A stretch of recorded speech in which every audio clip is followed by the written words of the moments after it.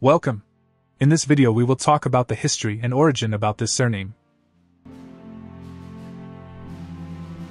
The surname Barentin is a name whose history on English soil dates back to the wave of migration that followed the Norman conquest of England of 1066.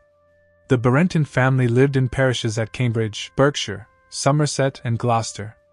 Their original family seat was at Barentin in Normandy, and they were one of a group of families that draw their name from this location.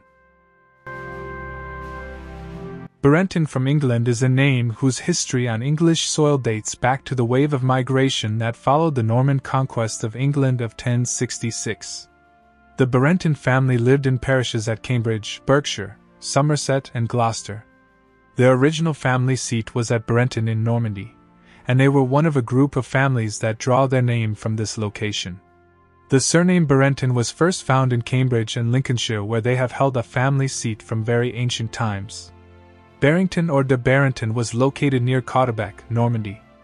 Early feudal rolls provided the king of the time a method of cataloging holdings for taxation, but today they provide a glimpse into the wide surname spellings in use in early times. This surname may have several different spelling variations, such as the following.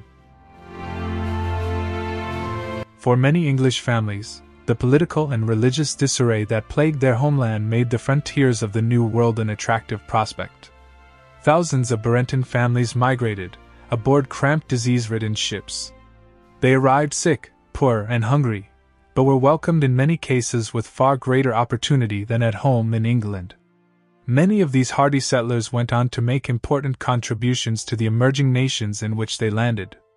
Among early immigrants bearing the name Barrington or a variant listed above were Abigail Barrington, who settled in Barbados in 1664. Isaac Barrington settled in Barbados in 1654.